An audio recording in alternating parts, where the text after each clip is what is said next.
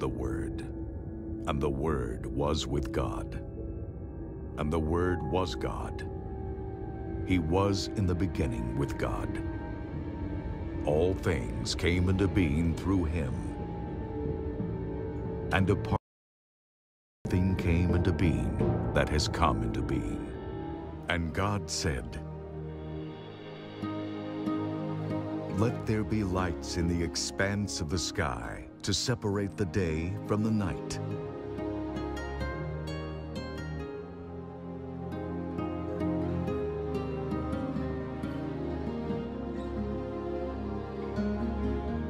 And let them serve as signs to mark seasons and days and years. And let them be lights in the expanse of the sky to give light on the earth. And it was so. God made two great lights. The greater light to govern the day, and the lesser light to govern the night.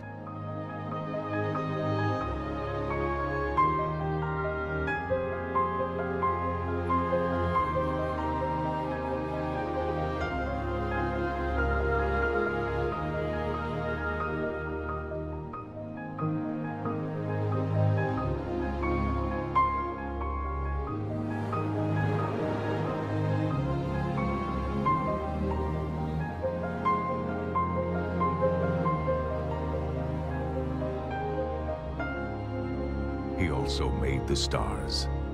God set them in the expanse of the sky to give light on the earth, to govern the day and the night, and to separate light from darkness.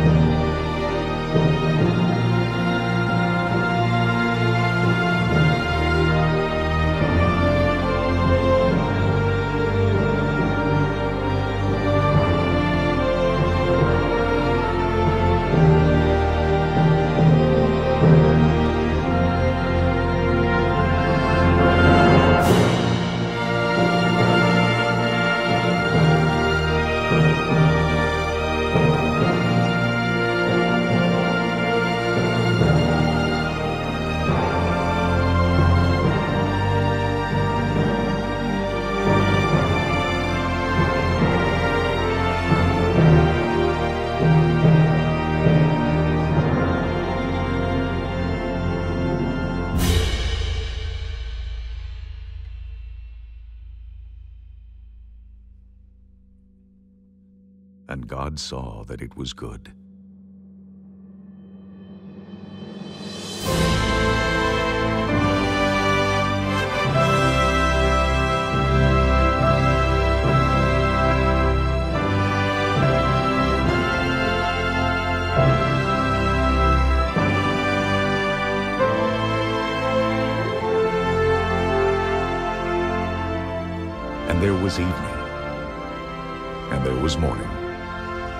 The fourth day.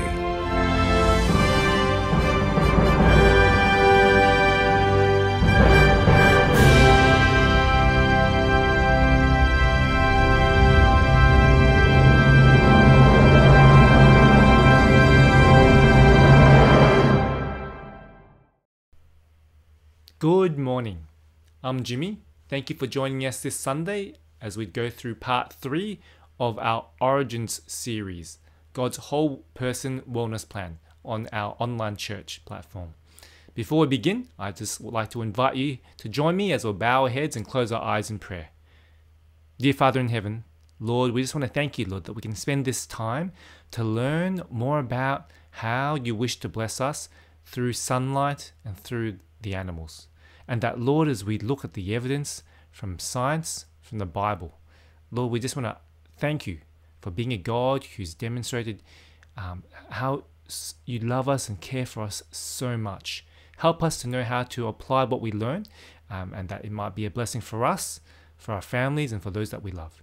We ask all of this in your Son's name, Jesus Christ. Amen. Well, thank you once more for joining us. Um, and so let's launch straight off into our talk today. You know, the sun, the moon, the stars.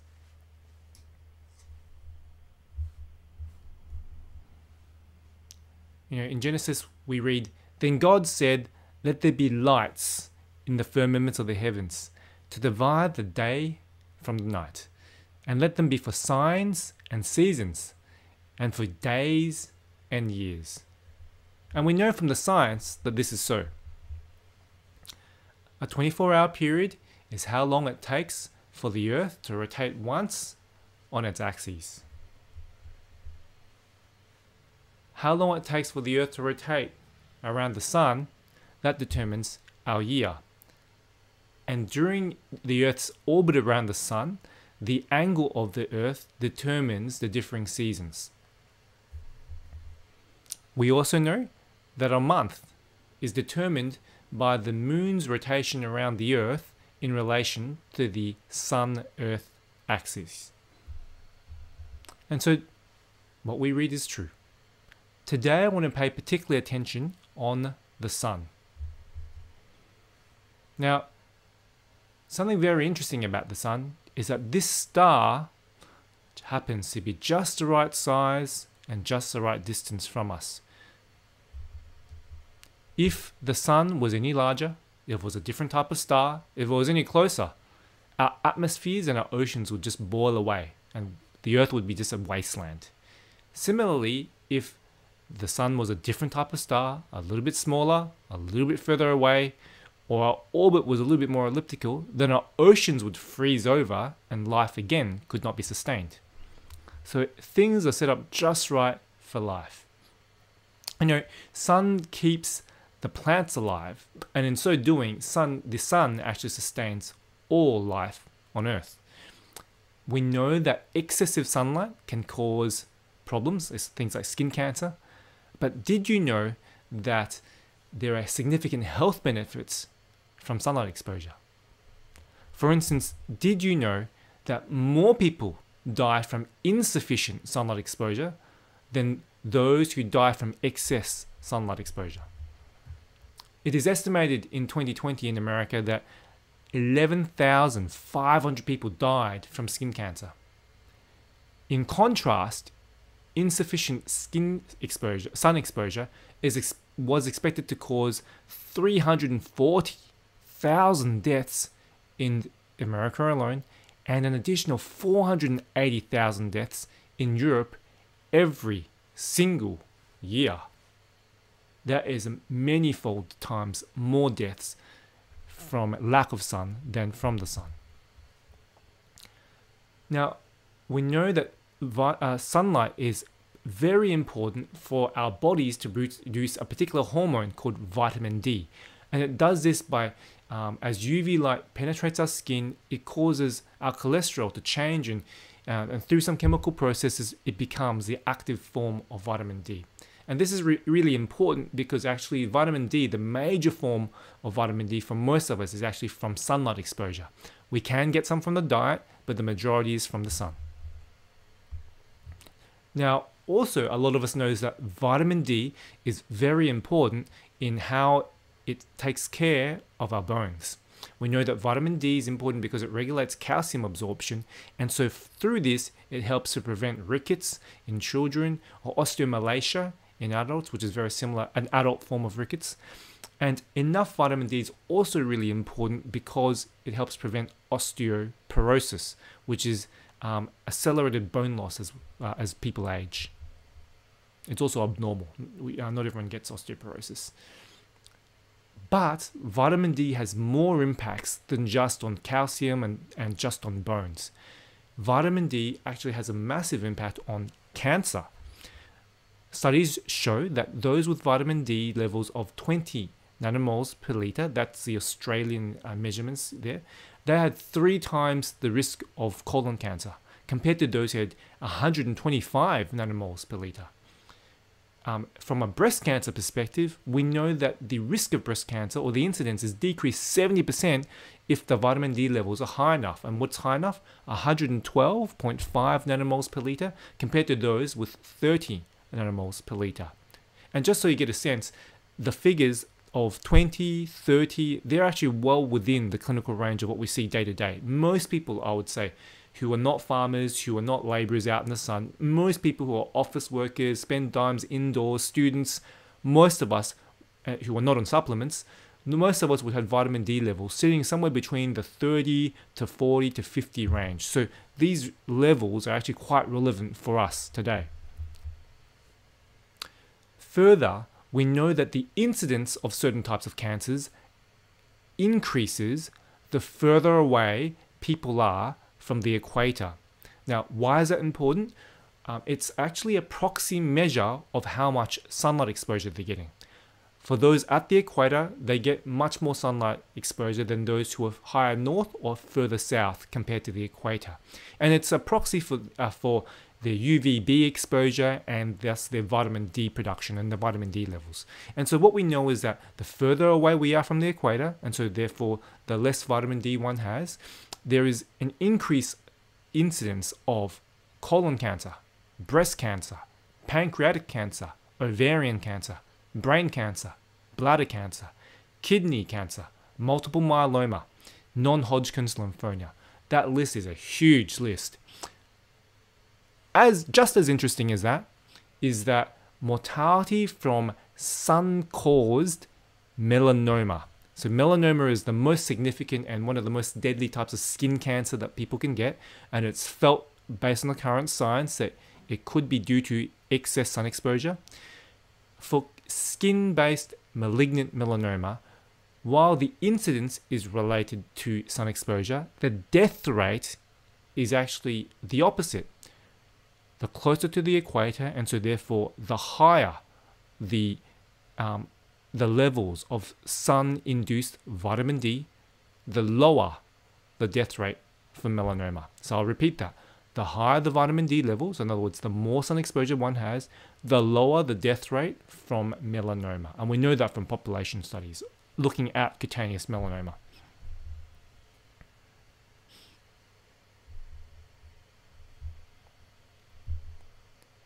Now, vitamin D also has a role in diabetes. We know that increasing vitamin D is associated with a decreased risk of developing type 1 diabetes. That's really important because um, unlike type 2 diabetes, once someone develops type 1 diabetes, that cannot be reversed. It's very, very hard to reverse. In a Finnish study, those who were regularly receiving vitamin D supplements as infants had a 90% lower risk of developing type 1 diabetes by the age of 31 years compared to those who were not on vitamin D supplements. And amongst those who were on the vitamin D supplements, those who had greater than 2,000 units a day had an 80% lower risk of developing type 1 diabetes compared to those who were supplemented on less than 2,000 units a day. And multiple other studies have confirmed and replicated these findings. Now, we think of cancer, we think of type 1 diabetes, which is an autoimmune disease, um, and so we start to get a picture that vitamin D has a role on the immune system. And guess what? Studies show that. Studies show that vitamin D deficiency is felt to be a contributing factor to the rising rates of autoimmune diseases that we're seeing in society. And this includes for diseases like rheumatoid arthritis, for systemic lupus erythematosus, or SLE for short, short um, multiple sclerosis, and type 1 diabetes. Now, vitamin D is not only important for autoimmune diseases, it's also important for pregnant mums and developing babies. We know that low vitamin D during pregnancy causes a higher risk of mum having a condition called preeclampsia in pregnancy. Low vitamin D is also known to increase the risk of impaired fetal growth. Pregnant women given a vitamin D supplement had a 47% lower risk of having high blood pressure and high blood pressure related complications of pregnancy, and also a 61% lower risk of preterm labor compared to women who were not given vitamin D supplements. And there are lots of other studies um, showing other health impacts on mums, and especially pregnant mums, and fetuses and infants.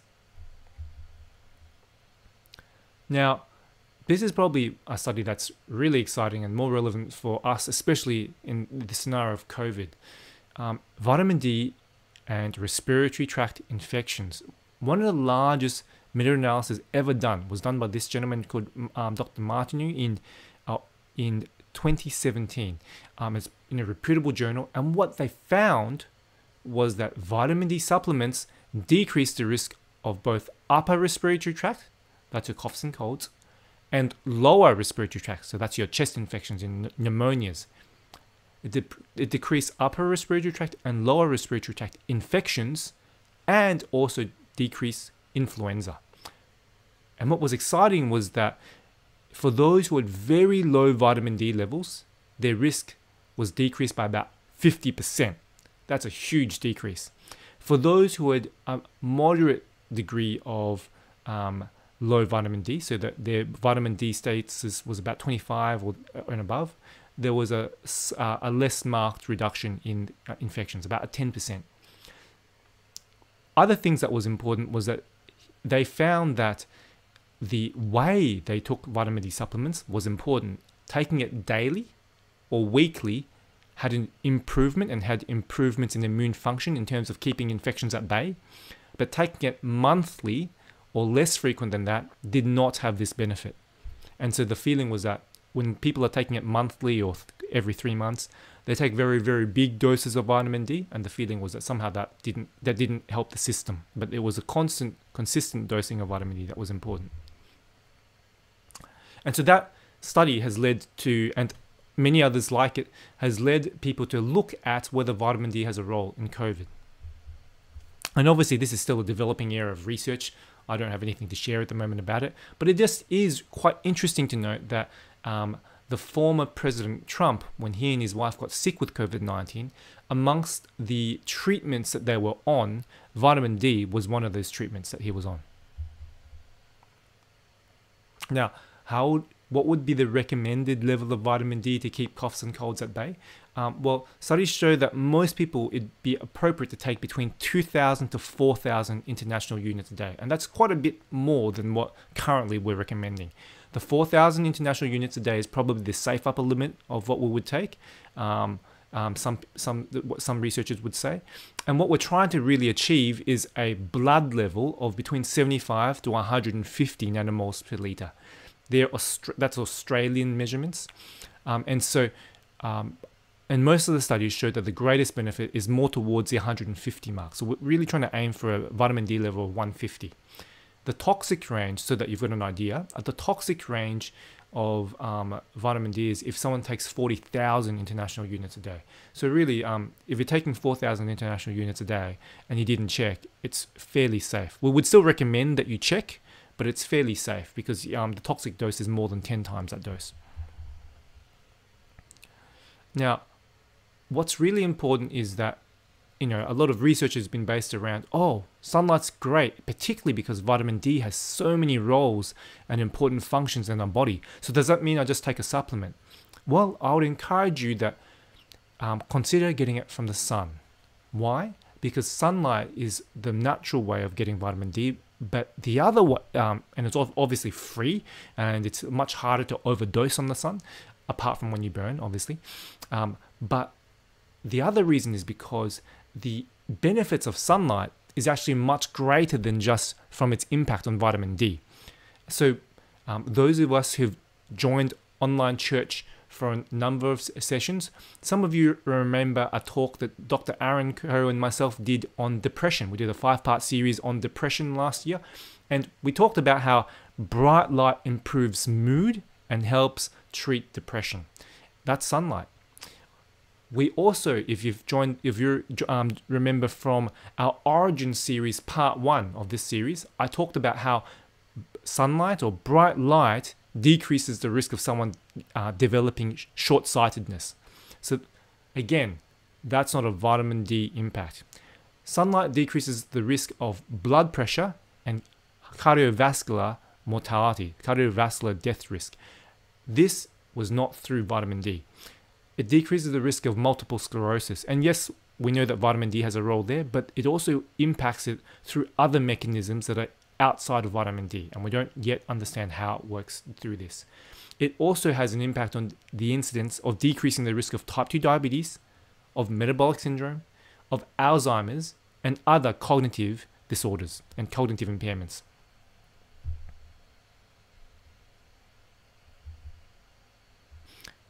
Now, sunlight isn't just beneficial for us for our personal health, it's actually good in creating a clean environment as well. You know, sunlight kills bacteria indoors, even if it's through glass. Now, why that exciting and important? We know that UV light kills bacteria. But when we get light through glass, the glass blocks out 99% of UV light. So what that what we're learning then is that sunlight kills bacteria by some mechanism outside of UV light.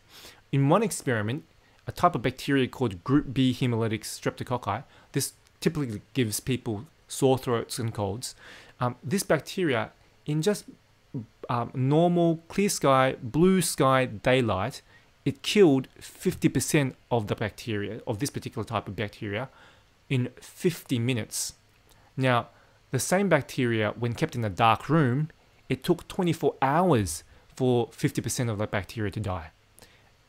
This was this experiment was not done with direct sun shining on the bacteria. All it was was it was a blue sky and the light from a blue sky that entered the room diffusely onto a dish, a petri dish containing bacteria. That was what killed it. In other words, the sunlight had to go through, it wasn't direct sunlight, it was just indirect sunlight. And that indirect sunlight had to go through two layers of glass, and it still had the effect of killing 50% of the bacteria in under an hour. Artificial lighting did not have this effect. So that's quite astounding. Now, of course, what other benefits are there of sunlight? Well, it just makes us feel good. Sunlight triggers the release of endorphins and it creates a sense of well being. So, if I don't decide to get my vitamin D through supplements and I decide I want to get sunlight for the other additional benefits, how do I go about doing this? Well, one American study um, did look at this question, and they what they recommended was that 15 minutes of exposure to the face, the arms, and the legs exposed at 40 degrees latitude between 11 a.m. to 3 p.m. two to three times a week in May to October was sufficient for those who had white skin. Um, that, what they meant by this type of white skin was that people who burned easily but and rarely tanned, that, that's what the type of exposure they needed.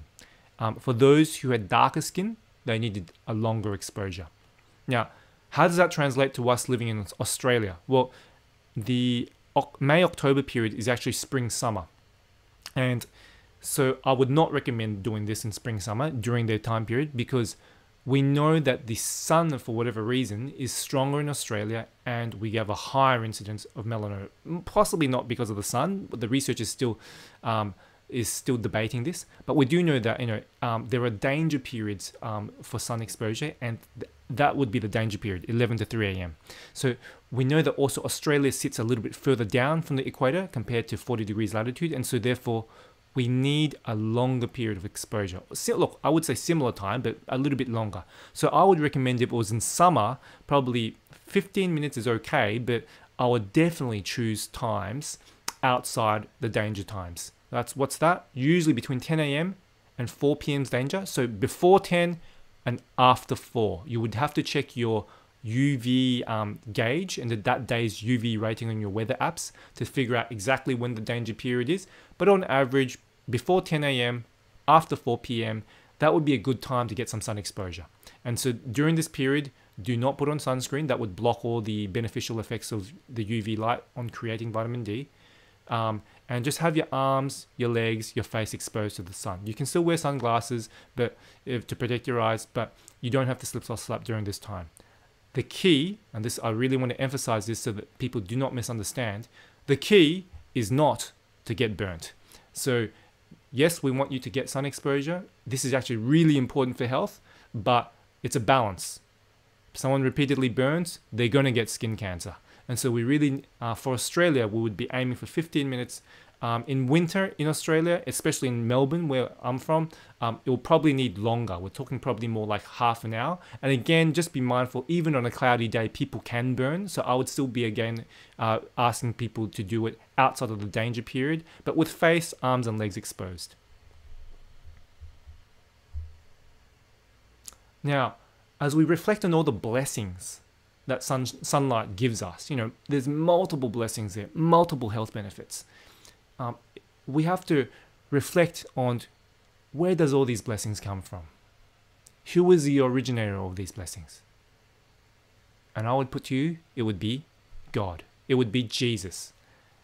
You know, we read in Malachi, but to you who fear my name, the Son of Righteousness shall arise with healing in his wings, and you shall go out and grow fat like stall fed calves. Who is the Son of Righteousness that Malachi talks about? No one other than Jesus, the Creator, the originator of the sun. He's the one who is our spiritual sunshine, our spiritual sunlight. You know, one of my favorite Christian authors writes this that during his ministry, Jesus devoted more time to healing the sick than to preaching. His miracles testified to the truth of his words, that he came not to destroy, but to save. Wherever he went, the tidings of his mercies preceded him. Where he passed, the objects of his compassion were rejoicing in health and making trial of their new-found powers. Crowds were collecting around them to hear from their lips the works that the Lord had wrought. His voice was the first sound that many had ever heard his name, the first word that they had ever spoken, his face, the first that they ever looked upon. Why should they not love Jesus and sound his praise? As he passed through the towns and cities, he was like a vital current, diffusing life and joy. Friends, Jesus is no less powerful today. Today, he still walks through towns and cities, including your town and your city. But today, he chooses to let people learn from his health principles. He is no less willing to heal you today, as in the days when he was in Israel in Galilee. Today, however, he expects us to learn from his health principles and his health laws. And as we apply simple remedies, as we learn to obey his health laws, and as prayer is offered, Jesus heals.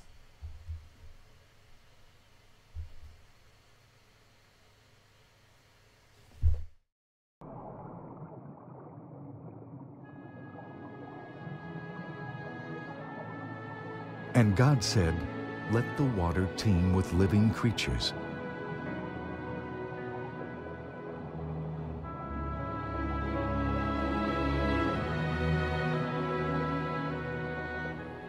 and let birds fly above the earth across the expanse of the sky.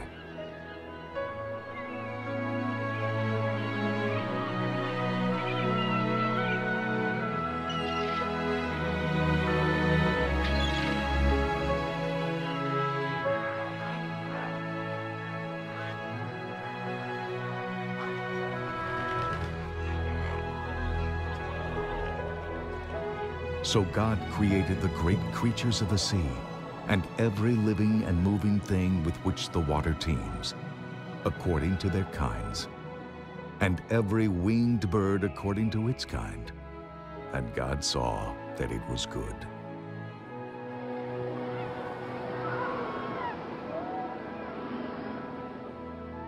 God blessed them and said, Be fruitful and increase in number and fill the water in the seas.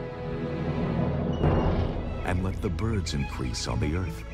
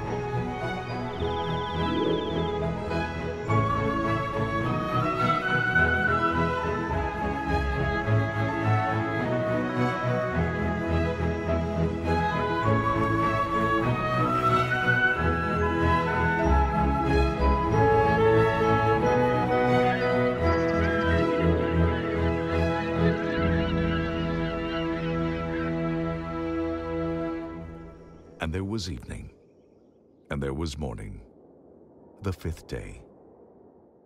And God said, Let the land produce living creatures according to their kinds, livestock, creatures that move along the ground, and wild animals, each according to its kind. And it was so.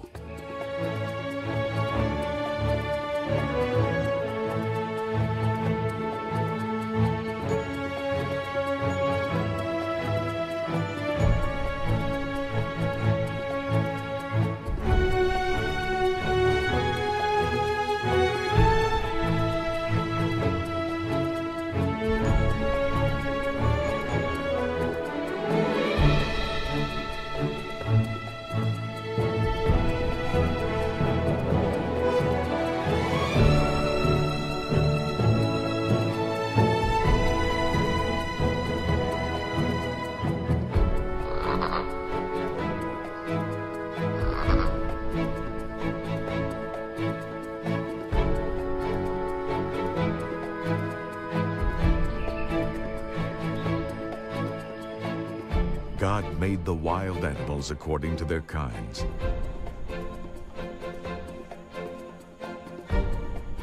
The livestock according to their kinds, and all the creatures that move along the ground according to their kinds. And God saw that it was good.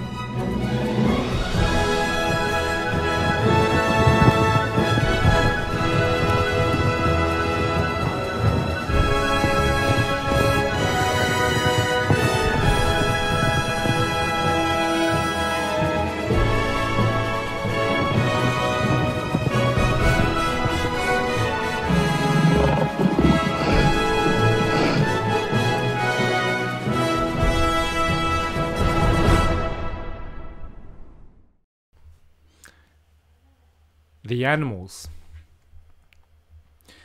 When God created the animals, He created them to be our companions and for our enjoyment.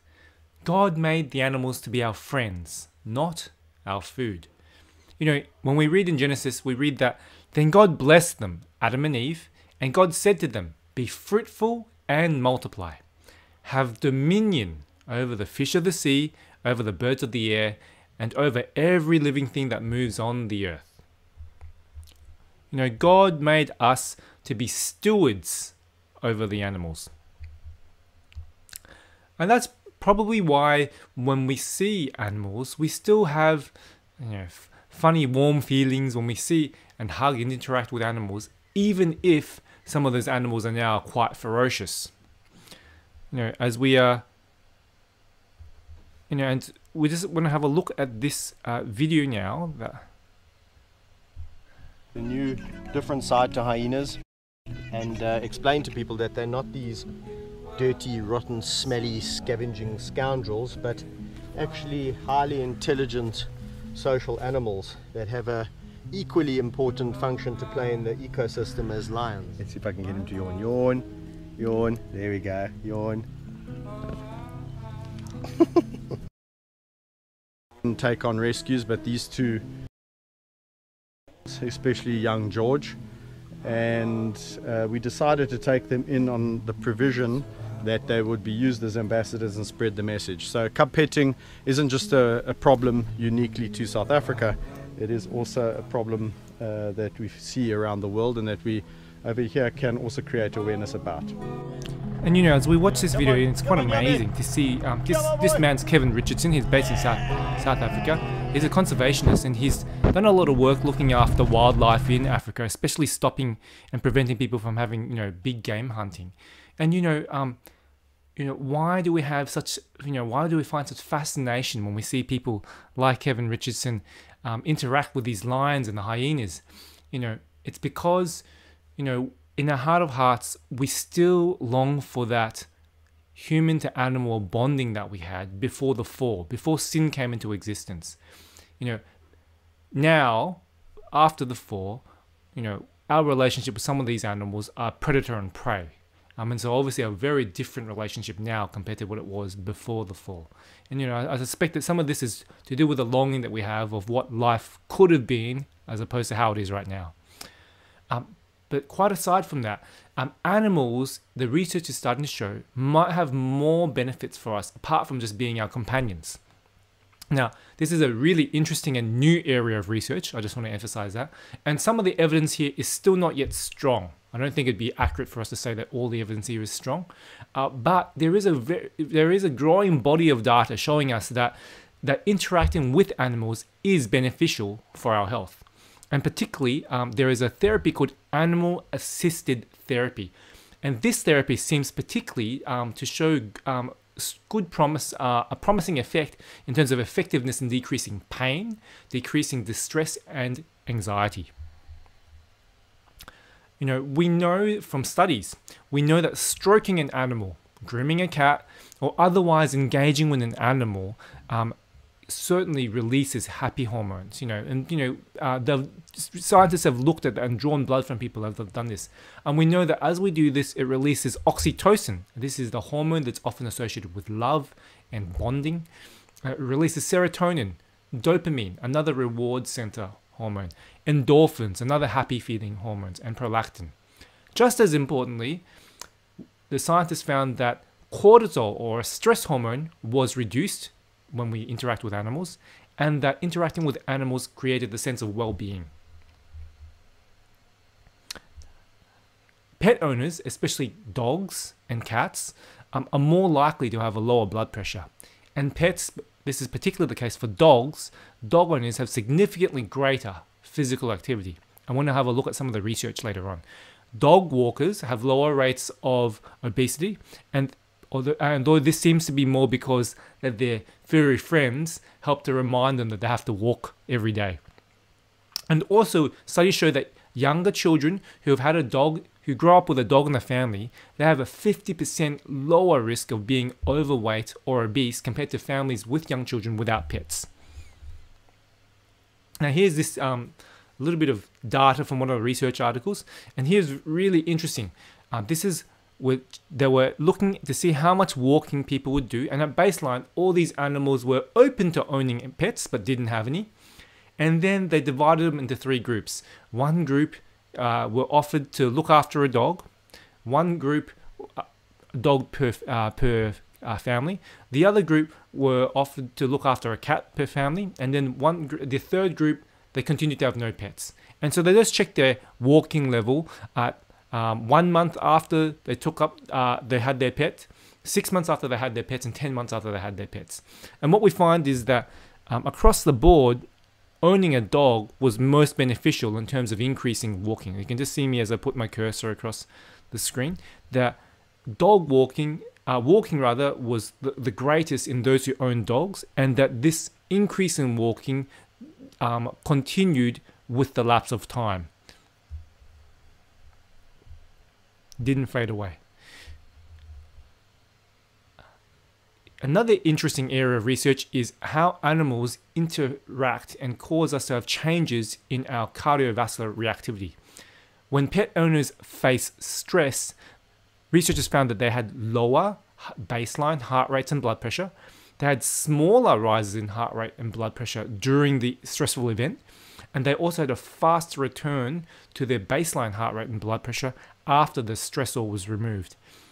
Um, reactivity to stress was lowest and recovery fastest when their pets were present with the couples or present with the uh, research candidates during the stressor. Um, he, and here is um, some of the data from that research. So what we're seeing here is that the black solid bars are the responses of those who had no pets. Um, the grey bars were the responses of those people who had pets, and they'd only had the pets for six months. And so at baseline, no one had pets, and but everyone was open to the idea of owning a pet, and then they just randomly assigned half to have no pets to continue to have no pets, and then the other half they said, okay, you can own a own a pet. And so what they found was that for blood pressure and for heart rate during the stressful uh, the stress events was doing some really really challenging maths or public speaking and we all know that public speaking is um, more feared than death itself. So so they, they just um, that was their stressors. And what we find is that across the board having a pet makes a difference. Their heart rates were lower and their blood pressure was less during the stressful event. Now, many studies also demonstrates this uh, the benefits in elderly populations. In the elderly, they had lower blood pressure, decreased use of antidepressants, they had used of fewer medical surfaces, they had better cardiovascular fitness, better quality of life, and also a better sense of well-being um, when uh, the elderly had pets versus those who didn't have pets. This is also true for younger populations as well.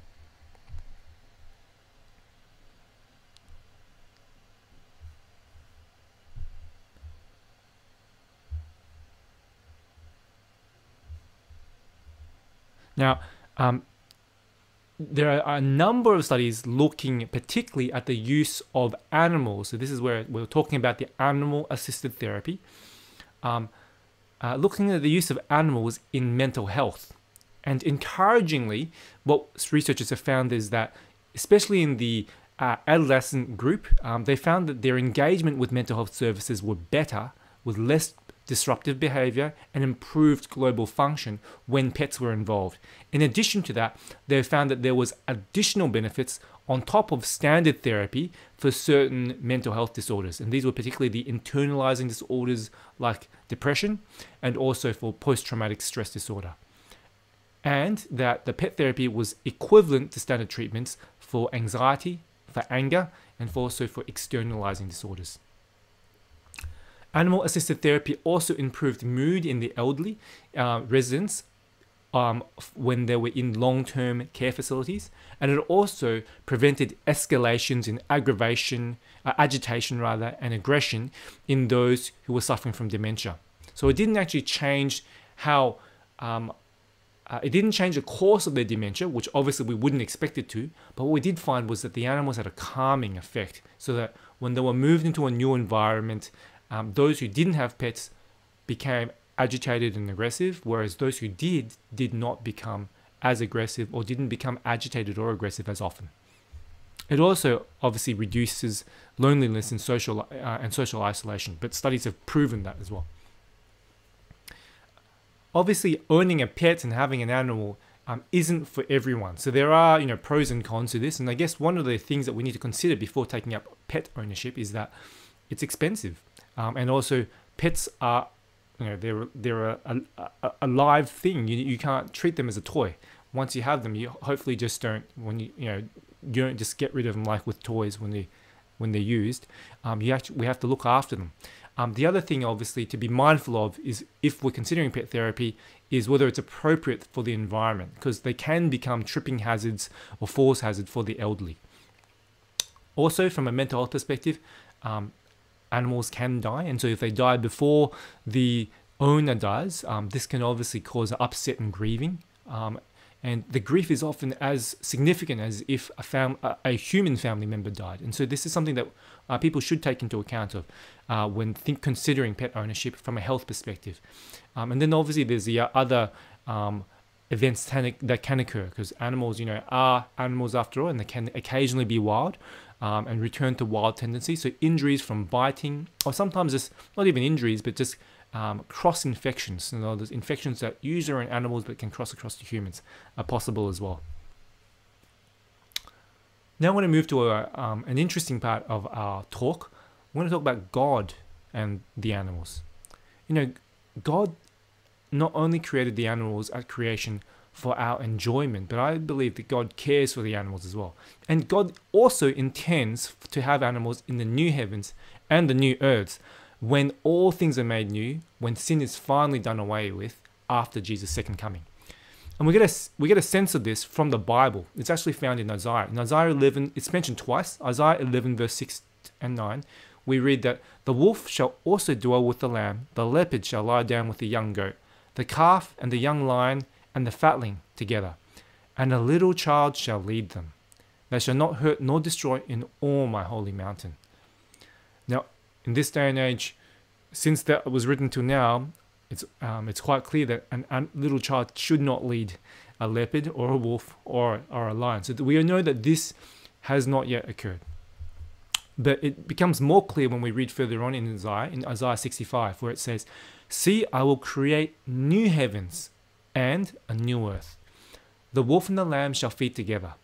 The lion shall eat straw like an ox, and dust shall be the serpent's food. They shall not hurt nor destroy in all my holy mountain, says the Lord. And so here we get a good sense, a very clear sense that in heaven, God has animals as well. You know, Jesus is still the God of nature. He created nature, He created the animals, and God is still the God of animals as well. And so, as we reflect on it, just as Jesus calmed the storm on the Sea of Galilee when his disciples were freaking out and they, were all thinking that they were about to drown and the boat was about to sink. Just as Jesus calmed that storm, Jesus asked a big fish, we don't know if it was a whale or what, but he asked a big fish to swallow wayward Jonah when he was trying to run away. And the fish saved Jonah so that Jonah would not drown. We see that in the Bible that God uses the animals to continue to bless his people in special ways. We read that Jesus, when Elijah was in the wilderness in the three and a half years of known rain, that in the initial period when he had to hide behind a creek and there was no food, God sent ravens to feed prophet Elijah. We read that when Daniel was faithful to the call of being a Christian and he would choose to rather obey God rather than man, and so therefore chose to pray to God, knowing that the penalty would be being thrown into a lion's den. We see that Jesus again comes through for those who believe in him, and Jesus sends an angel to shut the mouths of the lions so that Daniel was not eaten. You know, Jesus is no different today.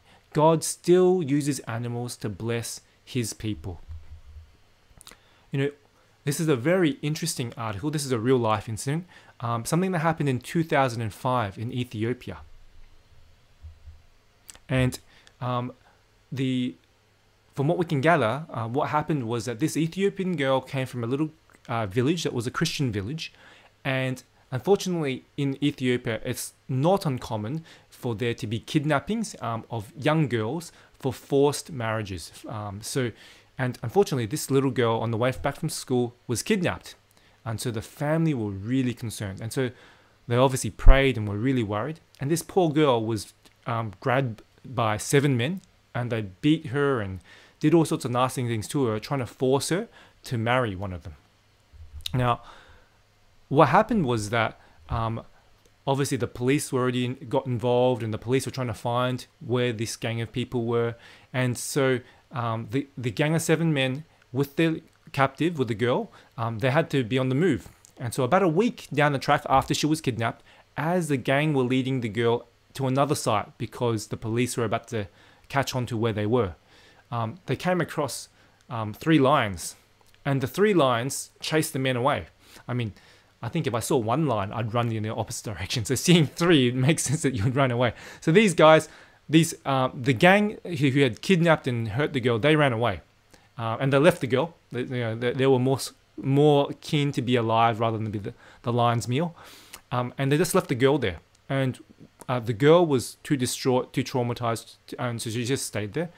And what was really interesting was that the lions chased the men away, and then the lions just sat there, a short distance from the girl, but they didn't harm her. And we get to learn about this because the girl obviously lived. uh, but also that the police finally caught up with the girl about half a day later. And the, this is one of the um, group, this police officer, his name's uh, Wondimu uh, Wedaj. He was amongst the search party that found the girl. And what they said was that they, the Lions, stood guard until we found her, and then they just left her like a gift and went back into the forest. Everyone thinks this is some kind of miracle because normally the lions would attack people. Um, and it's true, the lions in Ethiopia are known to attack people. Um, but in this case, the three lions just sat and watched over the girl and didn't do anything to harm her until the police arrived. And when the police arrived, the lions just stood up and walked off. Amazing. I think that's incredible. You know, God still uses the animals to bless his people. And certainly, I think God answered the prayer of um, this girl's family who were praying for her. You know, as we reflect on today's um, lessons, you know, we reflect on the blessings of sunlight. You know, just want to summarize that there are multiple and um, beneficial effects from sunlight. And a lot of these are from its impact on vitamin D and vitamin D production. Is obviously beneficial for our bone health, but also uh, it's beneficial for our immune system. And because of its impact on the immune system, it has multiple other health benefits, which include effects, beneficial effects on cancer prevention, on prevent, possibly preventing autoimmune disease, um, on helping to decrease the incidence of multiple respiratory tract infections, including viruses. Its benef- uh, beneficial effects in pregnancy. We also know that direct sunlight, outside of its vitamin D effects, also have an effect on the circadian rhythm. It helps to improve mood. It helps with decreasing the risk of short sightedness. It has um, beneficial effects on both the cardiovascular disease and cognitive illnesses, and also kills a variety of bacteria and microbes. You know, the blessings of animals. Early studies suggest that it improves health, particularly in dealing with pain, dealing with distress, dealing with anxiety, and certain mental health conditions, particularly internalizing disorders and post traumatic stress. And that in those who are suffering from dementia and have it in a more advanced stage, it helps decrease the risk of agitation and aggression when they're disorientated. Um, and just as important is that the blessings of sunlight and the blessings of animals come because they come from God, the source of all blessing. That Jesus is our sunlight, He is our sunshine, and that Jesus is still the God of nature, still the God of the animals, just as He was in the days of Jonah, in the days of Elijah the prophet, in the days of Daniel. Just so today he still uses animals to be a blessing for those who are his people. And so, really, God has provided all of our has provided for all of our needs at the creation and continues to do so. You know, as we finish for our talk today, I'd just like to invite you to bow your heads with me as we say a word of prayer. Dear Father in heaven, Lord, as we re- have reviewed the evidence for the blessings of sunshine, which are many and vast and far reaching, as we look at the preliminary evidence, looking at how animals are a blessing for us, not just for companionship, but also from a mental health perspective, and excitingly, also from a um, cardiovascular pers- uh, cardiovascular perspective and also from a dealing with stress perspective. That, Lord, uh, we just want to remember the origins and the source of all these blessings. That, Lord, you are our spiritual sunshine. You are our, the God of the nature that blesses us. And so, Lord, we just want to ask at this time that you will continue to speak to us, to know how to apply these um, lifestyle changes in a way that will be a blessing for us and also be able to um, share this with those around us so that it might be a blessing to those around us as well. We just want to thank you, Lord, for hearing this prayer. We ask all of this in your Son's name, Jesus Christ. Amen. So, thank you everyone for joining us once more for Origins Part 3 of God's Whole Person Wellness Plan. We looked at that sunshine and the blessings it offers, and at the animals and the blessings that that offers. Next week, we'll be looking at something very exciting once more. We're going to be looking at the purpose of life? Why do you exist? And I think this is a question that many, many people have asked, and I've certainly had a number of patients ask me this question. So next week is certainly a hot topic not to be missed. Uh, once more, thank you for joining us on online church. And just a reminder again, we'll be here again, same time, same place at 10 a.m. Sunday, Australian Eastern Standard Time.